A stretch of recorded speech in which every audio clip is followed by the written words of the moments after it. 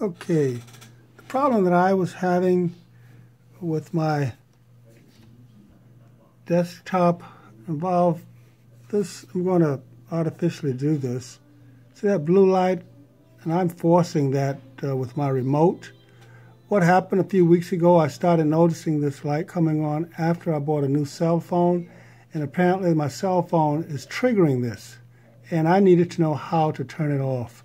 And luckily I was able to find a, a way to do it online. And to do that, I'll come over here and click to pull up this box and I'm going to click in Device Manager, type in Device Manager. Let's see, it should come up now. Here it is. I'm going to click on Device Manager. Once that comes on, comes up, I'm going to go over here to View.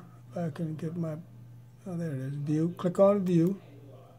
Then click on Devices by Connection. Once you do that, this screen pops up.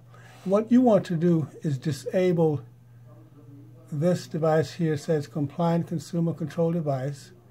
You want to disable this device, this device, this device, and finally this mouse device.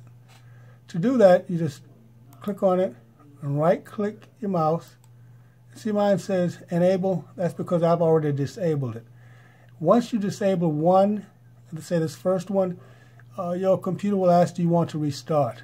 Click no and before restarting, go through each of these by disabling them. Again, on mine there's one, two, three, four, five, five items that I had to disable.